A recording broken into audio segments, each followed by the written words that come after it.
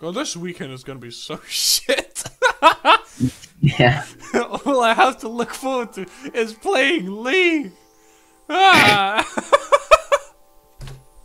God, that's so sad. well, I mean,